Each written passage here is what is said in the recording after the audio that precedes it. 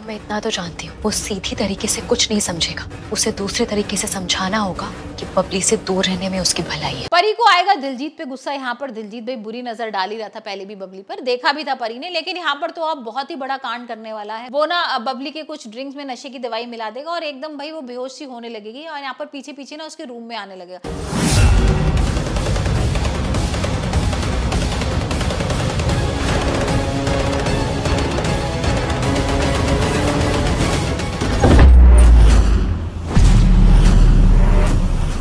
अब जैसे पीछे रूम में आएगा ना, यहाँ पर परी भी आ जाएगी और परी उसको पकड़ लेगी। अब दिलजीत भाई जो करने वाला था, वो तो नहीं कर पाएगा।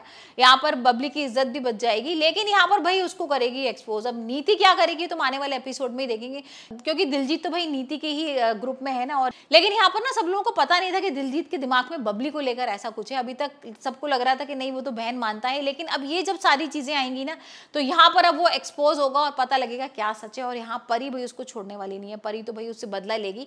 और यहाँ पर हम प्रोमो में देख भी रहे ना किस तरीके से राजीव बोलता है परी कि तुम परी हो तो बोलता है कि नहीं, पार्वती हूँ मैं। और यहाँ पर पार्वती बोल भी देती है कि अब नीति तो तैयार है मेरे पहले वार के लिए। तो अब उसका पहला वार क्या होगा ये तो हम आने वाले एपिसोड में ही देखेंगे। लेकिन यहाँ पर भाई उसने राजीव के दिमाग में शक पैदा कर दिया है परी ने, क्योंकि राजीव को पहले तो वो कॉन्ग्रेचुलेट करती है और बोलती है कि आपको शादी मुबारक हो। और आपने तो एक साल वेट भी नहीं किया अपनी वाइफ के मरने का। आपने पहले से ही शादी अनाउंस कर दी तो थोड़ा राजीव को अटपटा तो लगता है, लेकिन वो बोलता है कि भाई नीति ने अनाउंस किया था।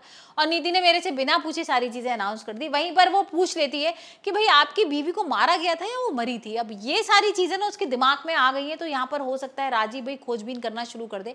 यहाँ पर पहले भी उसने खोजबीन करने की कोशिश की थी, लेकिन नीति और गुरवेंद्र ने रोक दिया था। तो अब देखते हैं, क्या नीति का सच आ पाएगा सब लोगों के सामने।